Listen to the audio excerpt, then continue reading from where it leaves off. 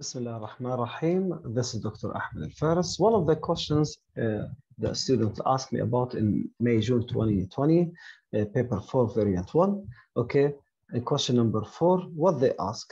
They ask in this question about uh, specific heat capacity. Some of the students, they don't know uh, how to manage about the specific heat capacity and they ask uh, several questions that they don't understand. They need some explanation. Now, let's see this question. Water has a specific heat capacity of 4,200 joules per kilogram degree Celsius. That's a, a big value for specific heat capacity. That's why water, okay, uh, is used for cooling system or heating system or for cooking. It takes long time to heat it up and to cool it down. So that's why we use water because it has high specific heat capacity. And the boiling temperature, the boiling point of it is 100 degrees Celsius. State what is meant by boiling point. Boiling point is the temperature, the temperature at which the uh, water is transferred from what? From uh, liquid into gas. The temperature at which the liquid is turned into gas.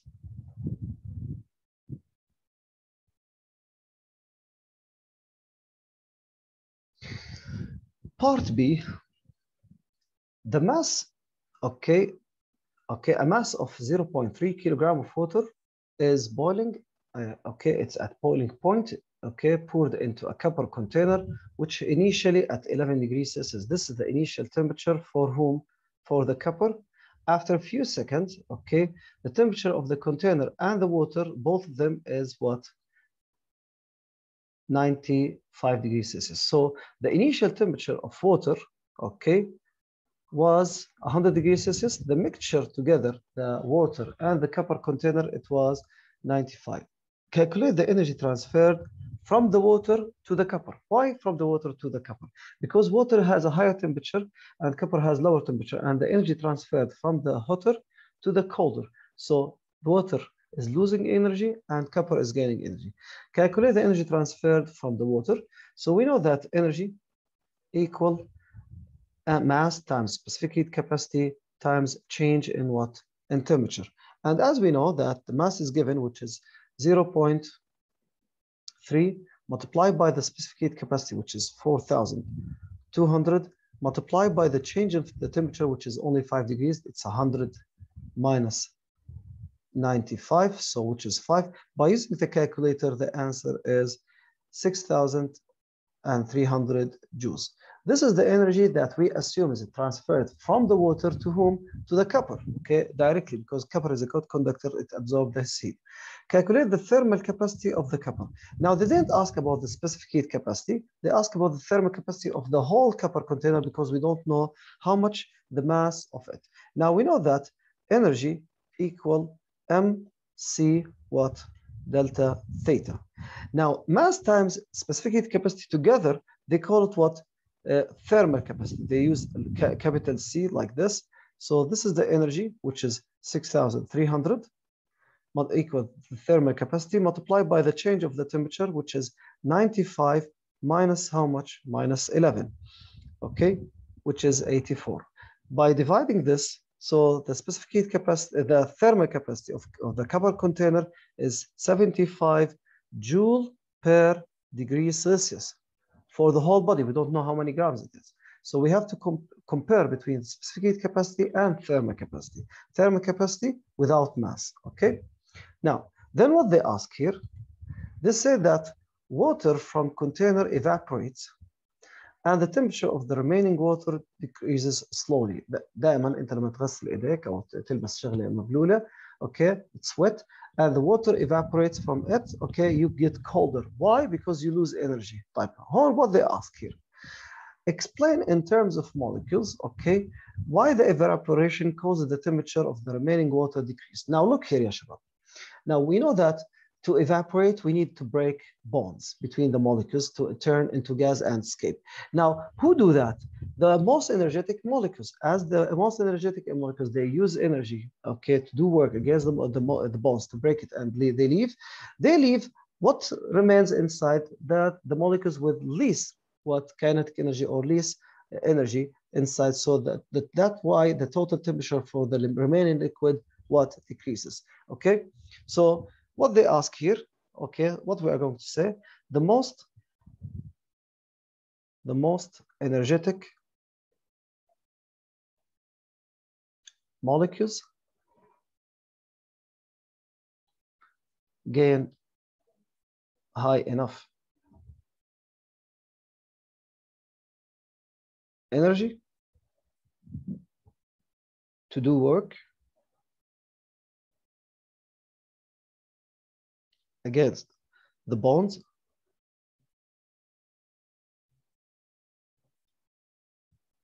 Bonds to break them. And escape making the remaining uh, molecules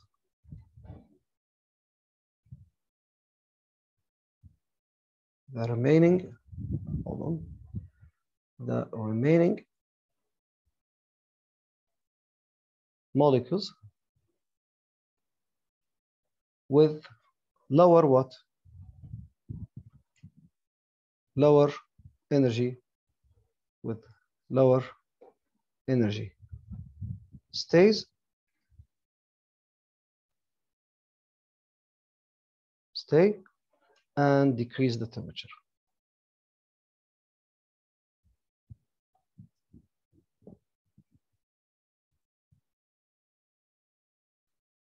Now this question remind me about another question in the year 2009 i think question number uh, eight or nine let's uh, yes question number nine. In this question number nine what they ask? They ask from beginning okay define or state what is meant by what define what is meant by specific heat capacity now specific heat capacity as we know okay is the amount of energy needed to change the temperature of one of one kilogram by one degree Celsius.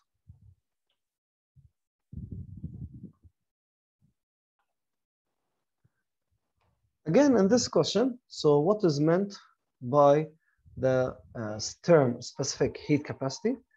The amount of energy, the amount of energy needed to change the temperature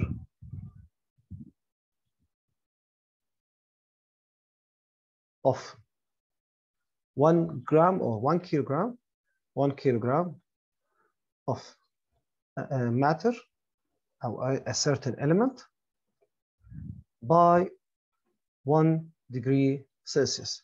So what are the terminology or the keywords that they are looking for? It? They are talking about energy, about the, man, the mass, which is one kilogram, and the change of the temperature supposed to be one degree Celsius. Okay. Next, water has a high specific heat capacity, as I told you before. So because water has very high specific heat capacity, now is it advantage or disadvantage to use water in cooking? Now, Usually they say that it's a disadvantage, okay? Water has a very high specific heat capacity, so just why it might be a disadvantage of using water in cooking because it takes long time to heat up or it, it what? It takes a lot of energy. So why? It takes long time to heat up and so much energy.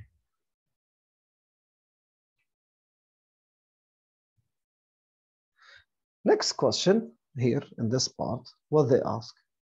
They say that we have a lot of information. They said in the figure, they illustrate an experiment to measure the specific heat capacity of some, some certain metal, okay? So what they do, they heat it up in boiling water. That means the temperature is 100 degrees Celsius. And they what? Then they said that they transfer it directly from this water, okay, boiling water, that means it has 100 degrees Celsius inside this calorimeter okay, that contains some certain water with a thermometer and stir with the lid, okay? The piece of metal, what they do, the piece of metal is heated up, okay, in boiling water until it, it reaches the temperature of the water, which is 100 degrees Celsius, okay? It then transfer rapidly, so it doesn't lose energy by transferring energy from uh, through the air or the surrounding to uh, some water in the well-insulated cup, the calorimeter they call it.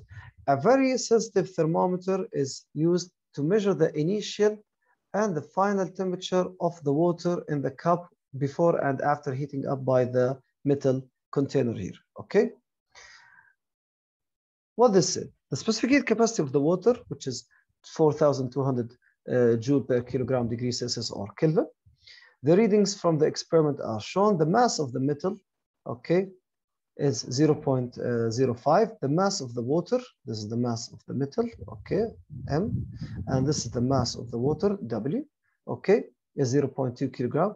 And the initial temperature of the water is uh, in the cup, it was like this, and the initial temperature and the final sorry temperature of the water okay it was like this this final temperature also is the final temperature for the metal and we know that the initial temperature of the metal it's 100 degrees celsius. So the metal loses energy and the water inside this uh, calorimeter gains energy. So the change in temperature here okay is caused by the uh, energy uh, gained by the water and lost by the metal that is transferred okay?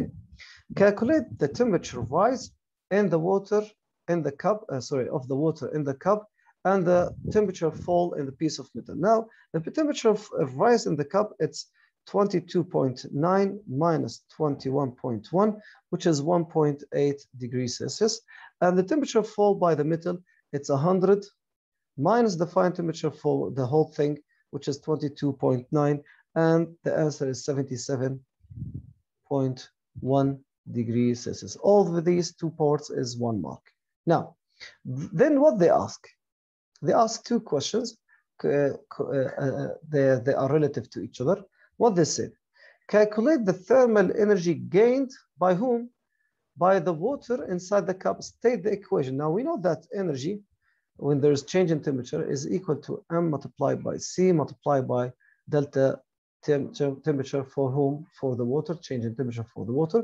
So the mass of the water in the cup, which is 0.2, multiplied by the specific heat capacity of the water, which is 4,200, multiplied by the change of the temperature of the water, which is the 1.1, okay, 1.8, sorry, degree, uh, degrees Celsius. So the whole answer will be 1,512 watt joule. You can write it as two significant figure, 1,5 zero, zero joule. But we are going to use this value, okay?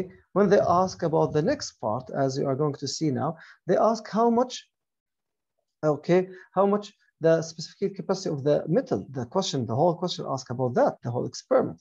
So assuming that there's only uh, uh, water gains the thermal energy from the piece of metal, not the surrounding. There's no energy lost to the surrounding or the calorimeter itself or the cup, okay? Making your answer in CI and C double I calculate the value of the specific heat capacity given your answer in three significant figures.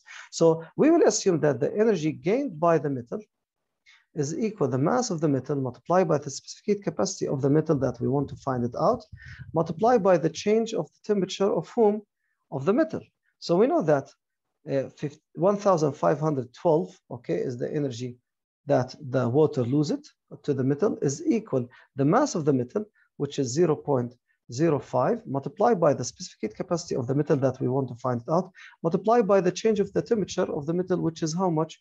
1.8.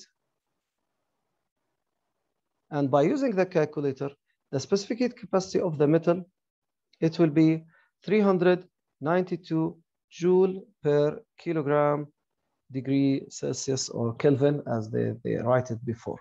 Okay, now that's part double I of this question, triple I of this question, and double I, it's related to it. طب أستاذ لو أنا غلطت here, if I did a mistake here, what will happen? There will be error carried forward to the next part.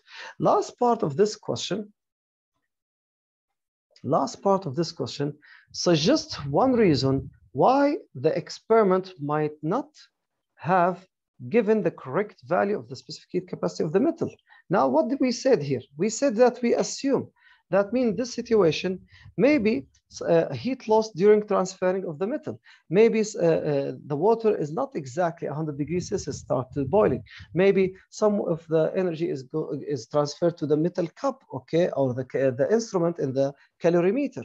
Okay, so maybe all, all these are reasons that the, the not all the energy uh, lost by the metal uh, the metal okay is gained by the water as the temperature is raised and that's it يعطيكم العافيه